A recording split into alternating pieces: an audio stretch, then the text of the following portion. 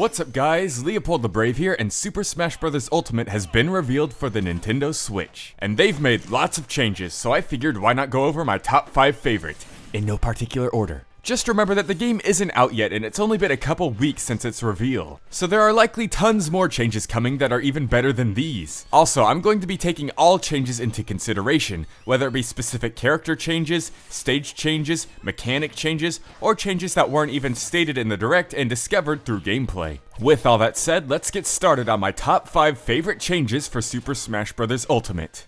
My first favorite change is Ryu being fixed. A couple months ago, I made a video stating changes that I wanted to see in Super Smash Bros. for the Nintendo Switch, and now that Ultimate is revealed, Ryu has a big change. In one-on-one -on -one matches, Ryu will always face his opponents, like he does in the Street Fighter games. And basically what this does is reduce accidental command inputs, which is one of the things I wanted. Another one of the things I wanted for Ryu is to be able to read his input speeds faster, because I'm actually a huge fan and player of those traditional fighting games that that use those exact same input commands on a regular basis. So those games are a lot more close up and personal and faster as a result of that, so my muscle memory ends up being a bit too fast for Smash to recognize. So like when I do Ryu's perfect Shoryuken, it sometimes doesn't come out because I just put it in too fast. And before you accuse me of doing it wrong, it does come out every single time when I purposefully do it slower. But seeing how much faster Ultimate is, I don't think this will be a problem anymore, so I'm happy for Ryu's changes. My second favorite change is having battlefield forms for every stage. Now Final Destination is known as the most fair stage in Super Smash Bros. history.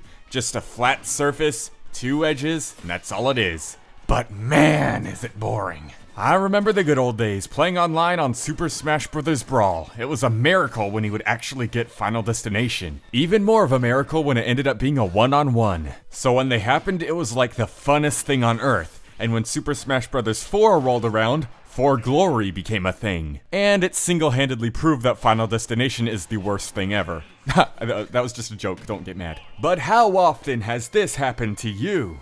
Oh, I'm fighting a cloud. Uh-oh, he's rolling to the side of the stage and charging his limit. Better go after him. Oh no, now he's rolling to the other side of the stage and charging limit. Oh hey, now I'm fighting a Robin. Oh no, he's running to the side of the stage and charging Elthunder.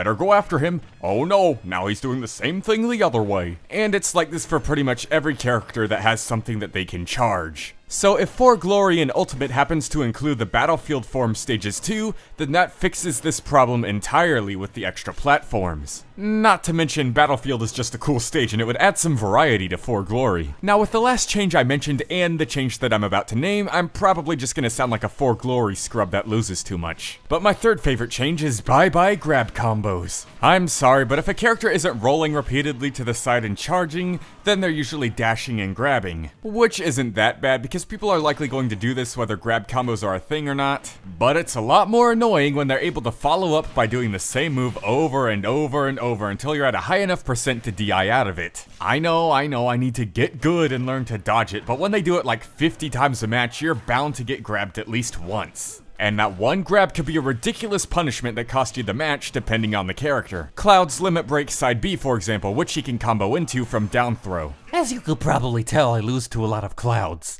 Let's get even more casual. My fourth favorite change are the Smash Ball mechanics. Not only have fake Smash Balls been added in, but regular Smash Balls behave very differently compared to their previous incarnations. I mean, not to complain again, but they were just really bad in Smash 4. They'd always hang up super high in the air so only characters with ridiculously high jumps could actually reach them, or they just float off screen for like a solid 10 seconds sometimes. You couldn't exactly chase it around, you just had to hope it would gravitate towards you. But in Ultimate, they float around in a much more fun pattern, or they could just drop to the ground and be kicked around like a ball. And sometimes when they behave like a bouncy ball, they get stuck upside down and they'd be easier to mistake for a fake Smash Ball. The Mega Mushrooms and Poison Mushrooms are much too easy to tell apart for to trick anyone, and the fake item boxes in Mario Kart games never work. So it's nice to see a fake item have the actual potential of tricking people.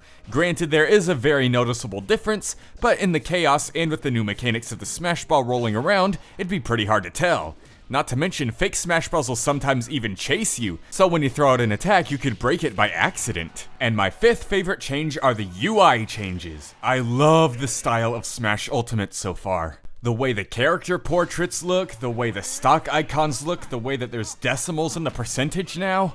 I just think it's really cool. I love the blue colors of the character select screen, the way the characters are arranged in order of their appearance in Super Smash Bros. I just love it a ton. And there have been tons of new things added, not just changes. For example, the loading screen is way different now. Instead of the tips popping up, now it's more like a traditional fighting game, with the fighters being lined up like a poster for a title match. They've also added tons of different visual effects, like the slow-mo thing, or the different backgrounds when you use a final smash. There's only one little complaint I have about the UI. When a character flies off screen, this little box appears to showcase where they are relative to the blast zone. I feel like what we already have with the arrow pointing to where they are off screen is a lot more useful and less distracting than that box showing up and flashing away. And I really hope there's a toggle option for them, because if those things show up during replays, it's to be almost impossible to make a Smash Bros. Machinima based off of Ultimate, which would be super unfortunate considering the roster and stage amount. But I'm not too worried, I mean that does only show up when characters are off screen. Now with that said, those are my top 5 favorite changes in Super Smash Bros. Ultimate so far.